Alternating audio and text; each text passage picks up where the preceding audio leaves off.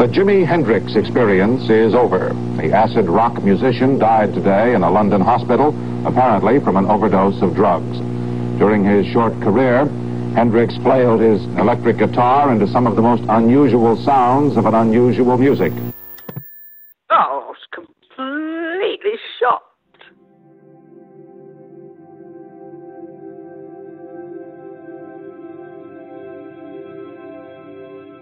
Totally and utterly shocked to hear about his death.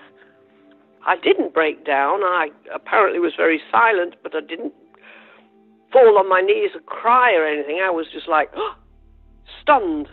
It's difficult to explain, but I was young, so quite resilient.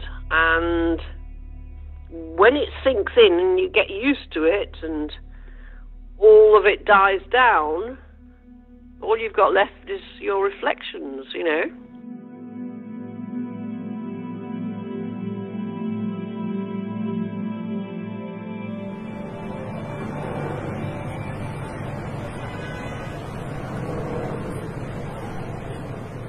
It was a time when everybody knew everybody else. The rock scene was small, and everybody went to the same places. It's not like that anymore. If everybody went to one nightclub and they moved on to another, everybody would move on to the other.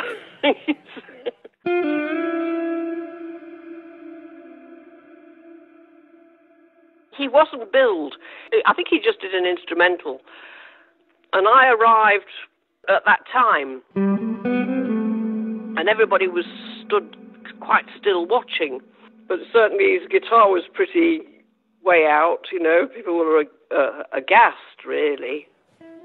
And then I just went to sit with all my friends, uh, of which he was, you know, amongst them. And we're all just, you know, laughing and talking and uh, everything. And Jimi beckoned me over and said, Oh, can I just speak to you a minute? And he said, I think you're beautiful. and I thought, Oh, I heard this before.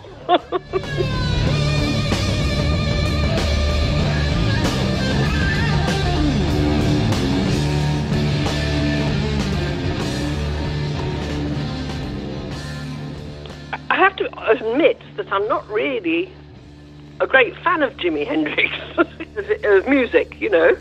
I do enjoy it, and I, and I did at the time, but not all of it. To me, when he walked in the room, he was just Jimi. And I used to nag him, same as I nag my husband, you know, about dropping things on the floor. and I used to go to the gigs, not all of them, because I wasn't really that interested. so I went to some of them if it was convenient and everything.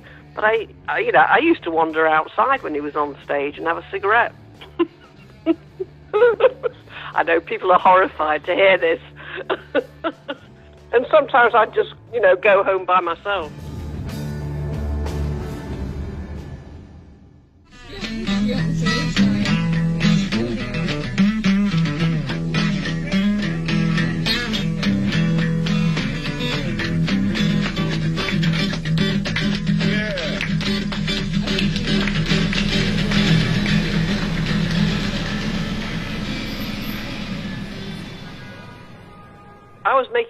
Potatoes, and they were lumpy.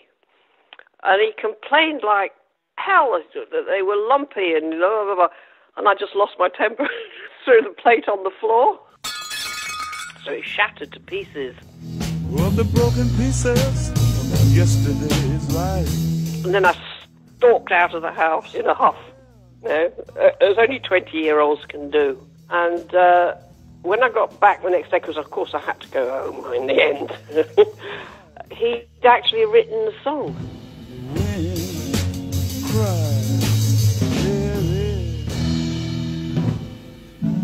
Well, but Jimi called me Mary. It was it was just a habit of his, you know. So.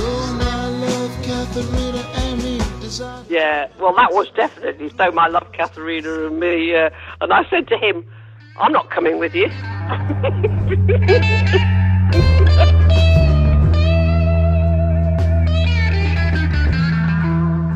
I'm not overwhelmed by it. I mean, it's just one of those things. I mean, you live with somebody, they use you as an inspiration when they write their songs. I mean, it stands to reason.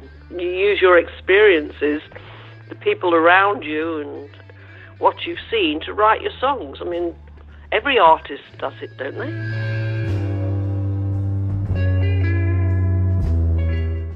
Drugs. I, I wasn't interested in that scene. That's probably why I'm still alive and everybody else is dead. We did see each other again after that, but I wasn't going to be involved in that kind of scene. I have to be honest with you, I don't listen to any Jimi Hendrix songs. If they come on the radio, I, te- I, I tend to turn it down or turn it off. Hey,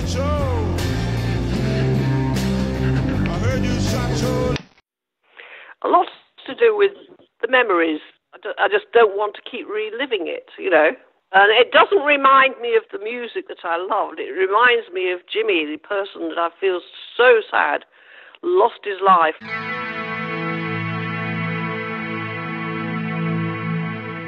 He didn't have a chance to grow up and mature. He was surrounded by hangers. Ah, look, I can see it. I can see where it all went wrong. I can see what happened.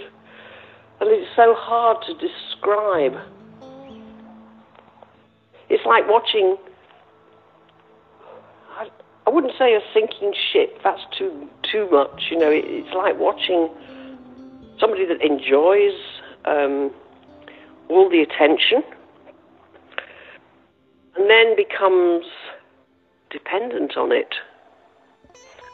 And I think this is common with a lot of artists. I don't think it's just him. But had he, had he lived, he'd have lived through it.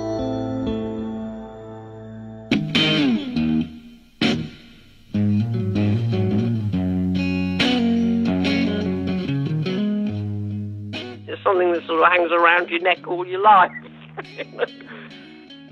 to have been um, associated with somebody that is so famous. I mean, in death as well as in life. More so in death, actually. No one knows. Nobody, nobody I've met knows. Not even my daughter-in-law's family. I keep it completely quiet.